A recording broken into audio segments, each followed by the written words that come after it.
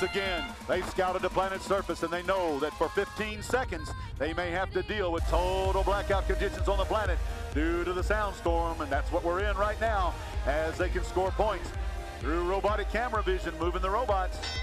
It's 15 to 9 coming out of the sandstorm period as we have full visibility on the field one more time. 74-51, the Avenger Robotics team. They're placing their hatch panel on the open hatch for the Red Alliance rocket. That's worth two points for the Red Alliance.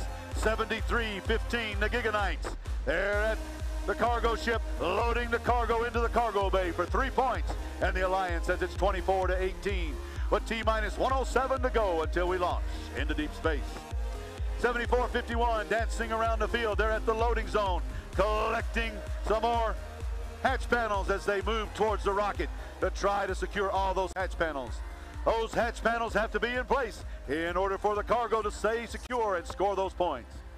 69-19, the Commodores, they're at the loading zone right now, collecting a hatch panel. 49-10, waiting behind as they now move to collect a hatch panel. 49-10 has their hatch panel and moves towards the Blue Alliance rocket, placing it on the second level. If they can successfully do that, that's worth two points as they spin around, trying to get into position. They've got it in place. 74-49, the Lithium Robotics team. They've got cargo in their possession as the Mongooses place cargo in the rocket for the Red Alliance. Here we got another piece of cargo going into the Blue Alliance rocket as Team 49-10 continues to score two-thirds of the way full on the rocket as they come back and load the cargo ship as well. Three points for each one of those cargo pods that look like orange balls out on the field. We're down to T minus 28 seconds to go.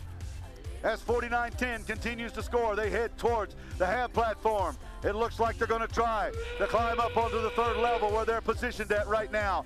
For T minus 17, they're lifting themselves up and they're on to the third level. That's worth 12 points.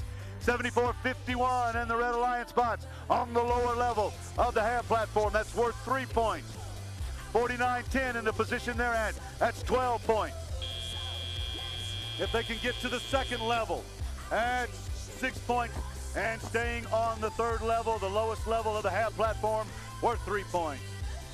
As we've now completed match four of what will be 90 total qualifying matches over the next week, couple of days. We've got to go from launch command. Let's watch the screen. We see that uh, Blue Alliance blasts off with a little more thrust than the Red Alliance at 72 to 56. All right.